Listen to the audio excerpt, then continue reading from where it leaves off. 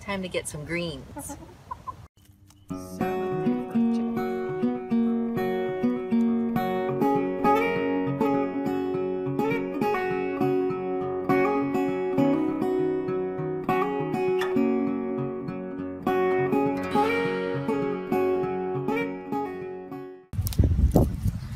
So since we um, penned up our girls um, where they were used to free ranging um, in our backyard, it's been a problem um, with uh, the poop.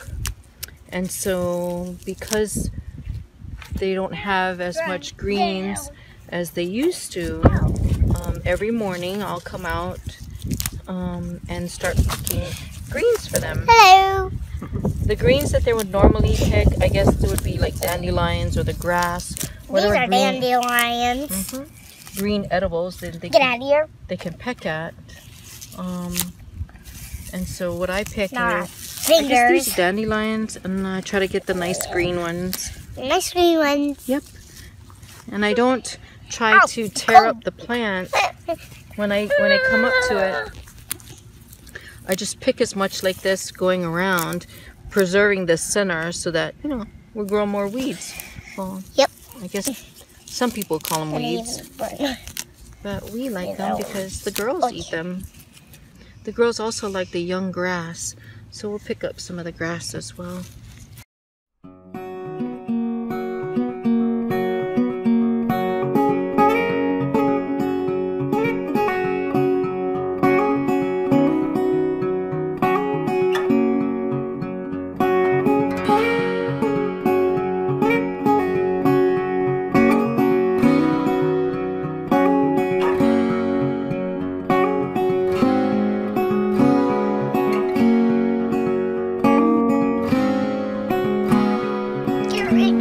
If your hand is in the way.